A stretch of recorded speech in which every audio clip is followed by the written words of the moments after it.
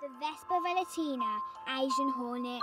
The Vespa velutina is a fast spreading, highly aggressive predator, posing a significant threat to honeybees and other insects. Xesús Feás is a scientific researcher investigating methods to control the species. So today we're visiting a beekeeper in Galicia who's very concerned about the attack on his beehives by the Vespa velutina. It's very interesting.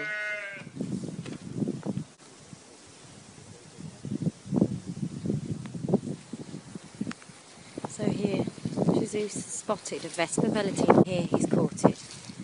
The problem is constant. The invasive species was first detected in Galicia, northern Spain in 2012, where two nests were detected. Four years later, 10,642 nests were detected.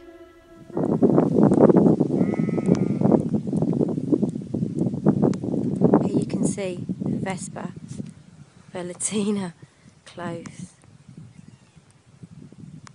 He has a very All- big hmm. Vespa velutina. beekeepers, researchers, we are concerned about this problem.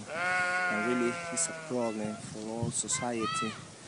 If honeybees disappear, our well-being disappear, and also we are concerned about health problems with uh, this hymenoptera that extinct people. Mm.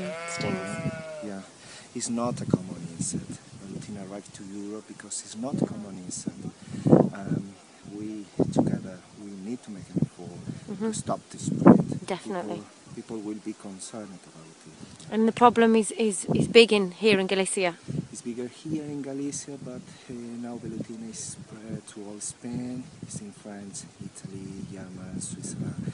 Arrived to United Kingdom, to England too. And Yeah. yeah, governments put all the force to stop this. this And you be, believe together we can stop this. we can try it. Together we are more strong. You know? Good. Thank you. The first confirmed sighting in the UK was in 2016 in Tetbury, Gloucestershire, where a nest was discovered and destroyed. The National Bee Unit has just confirmed another sighting of the Asian hornet in Woolacombe, Devon.